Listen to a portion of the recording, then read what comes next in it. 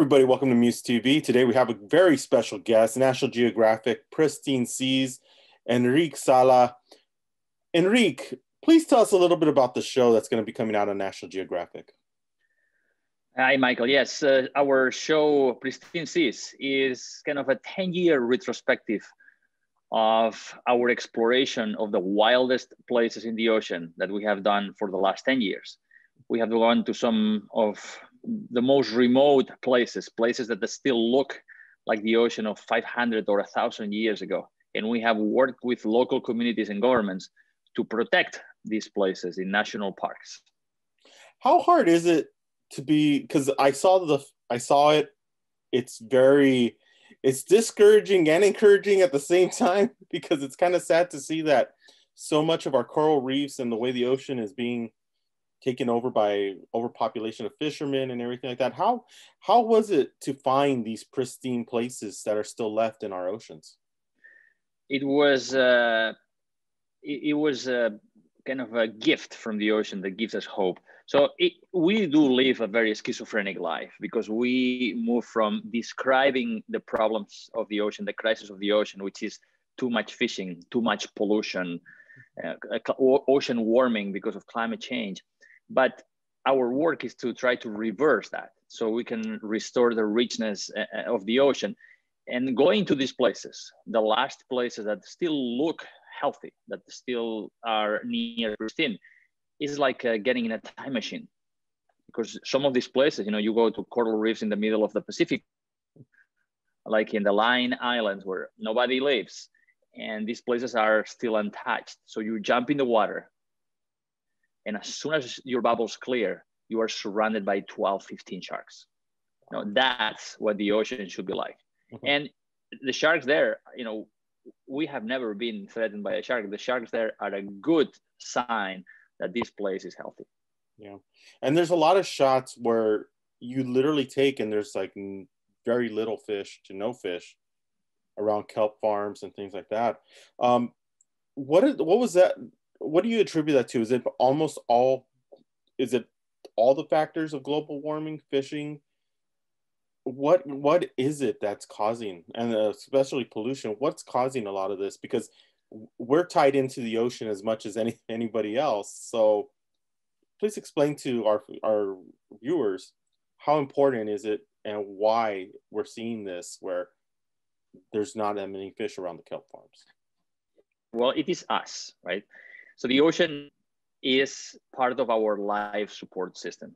It gives us oxygen, food, jobs. It regulates the climate.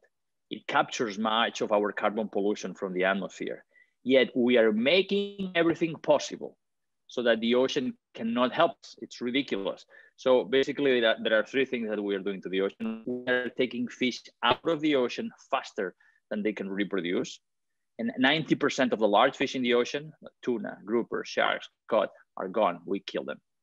Two, pollution. We have all this massive plastic pollution that everybody can see, but we have been polluting the ocean for much longer with pollutants that are invisible, like mercury or heavy metals, that the fish end up eating and we eat as we eat the fish.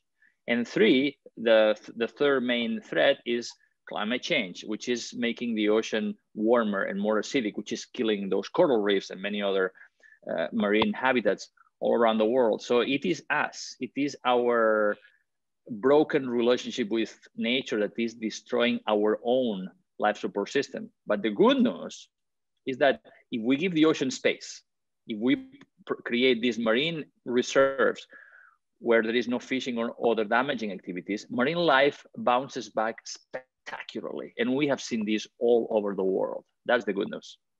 And that's something that you do touch on is the fact that we left it to be able to rebuild itself and regenerate, that it actually helps everybody and it doesn't take away from anybody. It actually helps this planet um, and helps fishermen. Uh, tell us uh, how how the, the countries that you've worked with have been able to adapt that and to bring that principle into the fishermen in their in their countries in their cities yeah you know there is this myth that we cannot protect more of the land or the ocean because we have to feed a growing human population, right? Yeah. But today, we produce enough food for 10 billion people, only that we throw a third of it or lose a third of it. So if we fix that, if we were able to reduce the waste of food, there would be food for everybody. But beyond that, the ocean has this incredible ability to regenerate, right? So what we have seen is that when you close one of these areas to fishing, one of these protected areas, the abundance of fish increases 600% within a decade. And we know that the larger females produce a disproportionately larger number of eggs. Like every female grouper, for example, can produce millions and millions of eggs, right? So this, together with the spillover of adult fish from the reserves, helps to regenerate, helps to replenish the areas around these reserves. So what we have seen is that the fishermen are catching more fish around these reserves than if these reserves were not there. And that means uh, better livelihoods, better food security. And finally, the, the healthier these marine habitats, the more carbon pollution the ocean can absorb. So that helps us mitigate climate change. So ocean protection is a, a multiple win. And there's one scene in this that really just like it's just amazing is that you're in Antarctica with a big giant iceberg and your you, your team is investigating and then you just pull back and it turns over and falls apart it's it's it, it's something that i think when people see this it's going to really affect affect them what was that fear and the, first the awe of seeing that and being able to dive so close to it, but also the fear of the fact that in such a quick moment, in such quick time, that you could see that literally go away. Yeah, there is quite a bit of adventure on our work, and it, it's not that we look for risk. We try to manage our risk, but sometimes there are things that happen and that are under your control. So we were in the Russian Arctic. Uh, we were the the first. Uh, American expedition doing leading a, uh, a project in the Russian Arctic with our Russian colleagues, and the there were these icebergs that come from from these glaciers from from the Franz Josef Land archipelago, and there was this iceberg that was anchored on the bottom of a bay, and we thought, well, it seems stable, so we went down to collect samples uh, of water near the iceberg to see what was you know, what type of microbes live there, and we were filming that. And when we were about to come back to the surface after our work, we heard this big crack, and everybody immediately became a little worried. So we went back to the surface, and the people on the boat were, were yelling, Come back here, come back here. So uh, nobody knew what was going on, and everybody started swimming frantically back to our, our boats. And then we saw the iceberg capsize, the entire iceberg. So had we been underwater for one minute longer, we could have had a serious problem. Now we can laugh about it, but this was one of the scariest moments that I, I've lived underwater. Yeah, that was just that that shot was just amazing, and a lot of the shots that you get are amazing, especially um, with sharks and the importance of sharks in the ocean. Um, can you please explain why are sharks because that was something you look for is that sharks and that's something you mentioned that sharks show that there's a healthy environment. Can you explain please explain why sharks are so important to the ecosystem?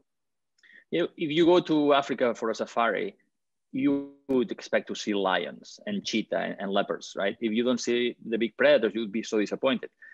Same thing in the ocean.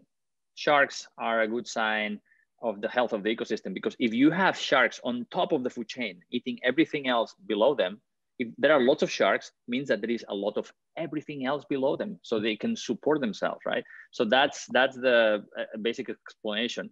And you know most people when they hear shark they get out of the water. When we hear shark we jump in. We love it. That's awesome. And that sounds like such a one you have one of the coolest jobs ever because that it's a lot of fun. Um, but last question that I really want to ask is the fact that a lot of people have been there's a lot of climate deniers right now, and a lot of people that don't believe that the climate and global warming is real. When we've seen the effects, and you show it in this show so much, especially in pictures of what it once, what different areas once looked like into what it is now. how can you explain the importance of our part and what we can do to be able to help to help our oceans to be able to help help them survive and to slow global warming? Yeah, you know, there are people who believe that the earth is flat, right? Mm-hmm. Despite the I would say overwhelming scientific evidence. Mm-hmm. But you know what? The time of denial is gone, right? The US has rejoined the Paris Climate Agreement. China has made a commitment to go carbon neutral by the mid of the century. The European Commission and many countries have a plan to completely go carbon neutral by 2050. We have a group of over 50 countries now supporting the protection of 30% of the planet by 2030. This year in October, we have an important uh, meeting of the UN Convention on Biodiversity and Nature. In November, uh, the climate meeting. You know, there is such momentum uh, the denialists are in their corner spewing their things. You know, the world is moving to action on nature. And there are many things that people can do. But I would ask everyone to consider one thing, which is eat less meat and more plants. That helps not only the land, but also the ocean, because as you said, uh, everything is connected. Eating less meat, meat produces so many emissions uh, that help uh, con contribute to climate change. Cows burp a lot, and that all that methane it has a huge contribution to climate change. So if we ate less meat, we would need uh, less uh, land, which could be used to give back to nature, which in turn, you know, when we have these healthy forests, for example, or grasslands, they absorb more carbon and help us mitigate climate change. And also for your health, you know, we don't need to eat so much meat we can get most of the proteins and, nutrients that we need from plants. So a plant-based diet with some meat here and there if you want would be good for your health and for the health of the planet. Right. Well, thank you so much, Enric.